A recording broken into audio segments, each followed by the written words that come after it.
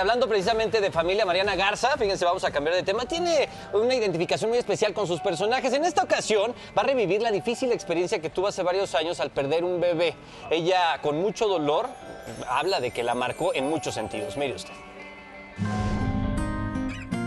Charco inútil es el título de la obra de teatro que Mariana Garza protagonizará a partir del 27 de enero en el Teatro Helénico. Una historia en la que su personaje se enfrenta a la soledad y el dolor tras la pérdida de un hijo. Ante este panorama, la actriz se sinceró con la prensa al confesar que hace un par de años perdió un bebé con tan solo tres meses de embarazo.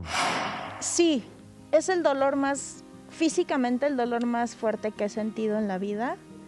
O sea, una contracción de expulsar un bebé. Ay, cuando le dicen producto yo siento muy raro, pero sí e, era a las 12 semanas, entonces sí era afortunadamente muy pequeño.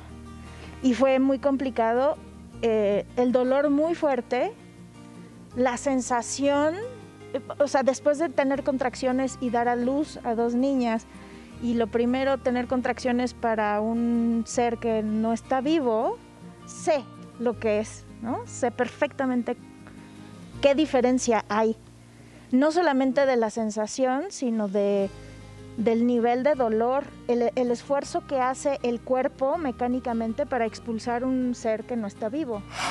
Mariana Garza considera que nunca ha requerido tomar terapia psicológica, pues a través de sus obras de teatro desahoga sus sentimientos.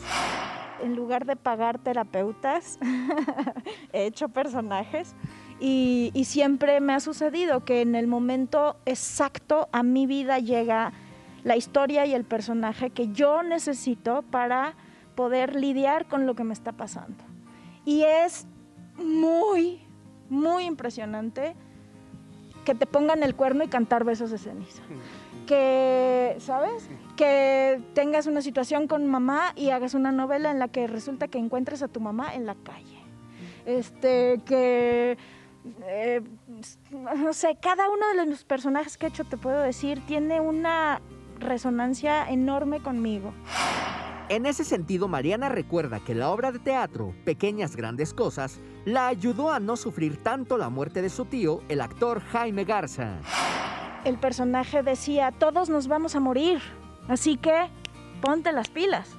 Y cuando yo lo dije, viniendo de galloso, de que se acaba de morir Jaime, o sea, es, es algo que, que no planeas.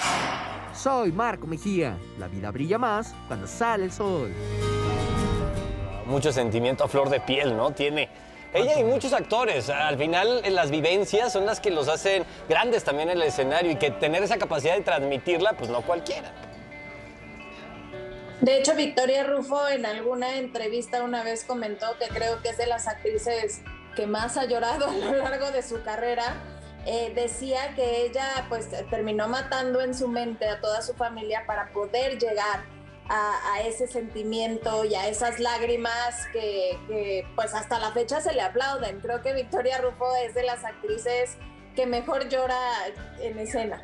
Claro, y también ocurre todo lo contrario, cuando vives un duelo personal y tienes que estar feliz en la pantalla, pues duele un montón, ¿no? Cuando te, tienes una pérdida y tienes que estar cantando en un escenario, es cuando dicen el show tiene que continuar y tú hacer un poquito de lado tus sentimientos para darlo todo para el público. Sí, y un besote a Mariana Garza, que además siempre ha sido también muy abierta y, claro. y, siempre ha platicado de todo eso que le mueve, ¿no? Todos esos sentimientos a los medios de comunicación. Es una apasionada del teatro y a ella le encanta que a través de sus vivencias, pues también la gente vaya a sentarse a esa butaca.